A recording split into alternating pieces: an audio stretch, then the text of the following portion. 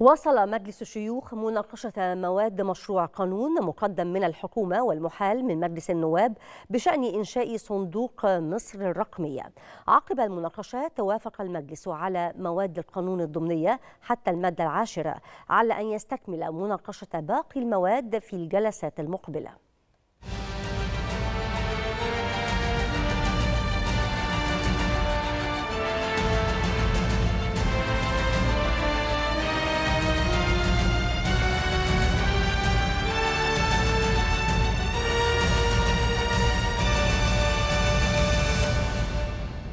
جلسة عامة جديدة عقدها مجلس الشيوخ برئاسة المستشار عبد الوهاب عبد الرازق لاستكمال نظر عدد من مشروعات القوانين، وخلال الجلسة واصل المجلس مناقشة مواد مشروع قانون مقدم من الحكومة والمحال من مجلس النواب بشأن إنشاء صندوق مصر الرقمية، حيث كان قد أتم أمس الموافقة على المادة الأولى بالقانون، بينما أبدى عدد من النواب مقترحاتهم إزاء باقي المواد. إحنا لو عدلنا النص وخليناه توفير الخدمات والكوادر الخاصة بالتحول الرقمي التحول الرقمي لتنفيذ المبادرات والمشروع المطلوبة لتنفيذ المبادرات والمشروعات.